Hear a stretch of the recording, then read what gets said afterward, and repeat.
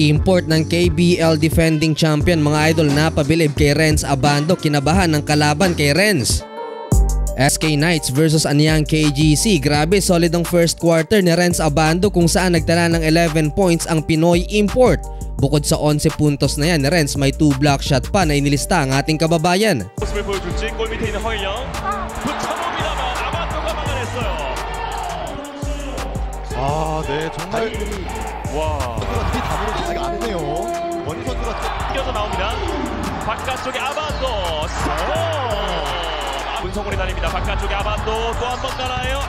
아반도. Dahil kay Renz, malaki ang nahawakang kalamangan ng KGC sa pagtatapos ng first quarter 26-17. Second quarter mga idol, dumikit ang talaan mas matinding duelo ang nangyari sa pagitan ni Choi Jun Yung, ang reigning KBL MVP. Trends Abando na NCAA MVP naman dito sa atin. First half mga idol nagtala ng 18 points sa Renz at nagpaulan nga ng 3 si Kabayan. 아반도 여전한 득점력 2쿼터의 아반도입니다.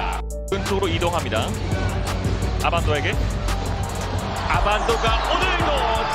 End of second quarter, 39-38 lumiit sa isa ang hawak na lamang ng KGC Anyang. Third quarter mga idol, nadakdakan ni rin si Choi. Baseline dunk, dikit pa rin 61-58. Tatlo ang lamang ng KGC.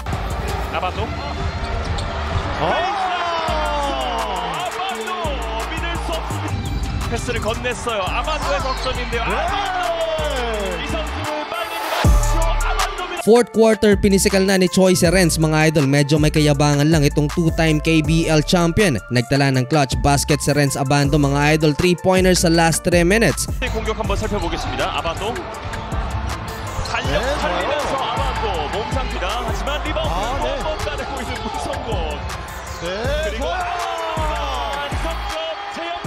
제영점 Nakalamang ang kalaban sa crucial part hanggang sa naghabol nga ang KGC ng tatlo sa last 24 seconds. Nawala na ng pag-asa ang KGC mga idol sa clutch performance ni Choi nang ma-foul naman sa 3 si Renz Abando sa last 4 seconds.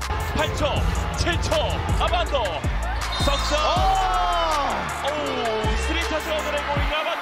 yun nga lang, dalawa lang ang naipasok na free throws ni Renz at naimintes ang isa. Kinabahan ng kalaban doon mga idol dahil muntik ng mag-overtime.